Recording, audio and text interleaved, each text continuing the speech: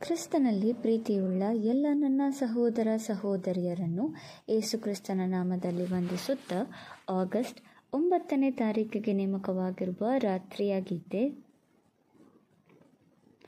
ಲೋಟನ ಹೆಂಡತಿಯನ್ನು ಜ್ಞಾಪಕ ಮಾಡಿಕೊಳ್ಳಿರಿ. ಹೊಸ ಒಡಂಬಡಿಕೆಗಳಲ್ಲಿ ಲೂಕನು ಬರೆದ ಸುವಾರ್ತೆ ಹದಿನೇಳನೇ ಅಧ್ಯಾಯ ಮೂವತ್ತೆರಡನೇ ವಚನ.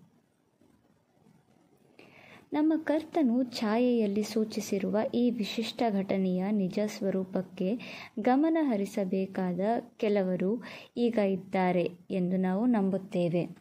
ದೈವಿಕ ಖಂಡನೆಗೆ ಒಳಗಾದವರ ಬಗ್ಗೆ ಸಹಾನುಭೂತಿ ತೋರಿಸಲು ಮತ್ತು ಸಹೋದರತ್ವವನ್ನು ಹೊಂದುವ ಮನೋಭಾವನೆ ಇರಬೇಕಾಗಿದೆ.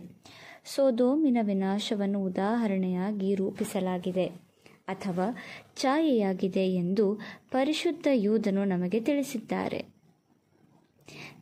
ಕರ್ತನಿಗಿಂತ ಹೆಚ್ಚು ಕೃಪೆಯುಳ್ಳವರು ಅಥವಾ ದೀರ್ಘಶಾಂತರು ಎಂದು ಭಾವಿಸುವವರು ತಮ್ಮನ್ನು ತಾವೇ ವಿರೋಧಿಗಳನ್ನಾಗಿ ಮಾಡಿಕೊಳ್ಳುತ್ತಾರೆ.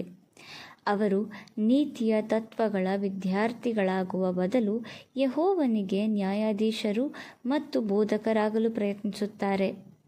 ನಮ್ಮ ನೀತಿಗಿಂತ ಹೆಚ್ಚಾಗಿ ದೇವರ ನಿರ್ಧಾರಗಳು ಬುದ್ಧಿವಂತಿಕೆಯಾಗಿದೆ ಮಾತ್ರವಲ್ಲದೆ ಅಧಿಕ ನೀತಿಯುಳ್ಳದ್ದಾಗಿದೆ ಎಂಬ ಸರಿಯಾದ ಪರಿಣಾಮವಾಗಿ ಯಾರಾದರೂ ಪ್ರಸ್ತುತ, ಅಂದರೆ ಈಗಿನ ಬೆಳಕನ್ನು ಅನುಭವಿಸಿ ನಂತರ ಕರ್ತನನ್ನು ಅಗಲಿ, ಇದರಿಂದಾಗಿ ಹೊರಗಿನ ಕತ್ತಲೆಗೆ ಕರೆದೊಯ್ಯಲ್ಪಟ್ಟರೆ ಇಂಥವರು ಹೀಗೆ ಬಿಟ್ಟು ಹೋಗುವ ಮೊದಲು ಜೀವವುಳ್ಳ ದೇವರನ್ನು ಬಿಟ್ಟು ಹೋಗುವುದಕ್ಕೆ ಕೆಟ್ಟ ಹೃದಯವುಳ್ಳ ಅಪನಂಬಿಕೆ ಕಾರಣ ಎಂಬ ತೀರ್ಮಾನಕ್ಕೆ ನಾವು ಬರಬೇಕು.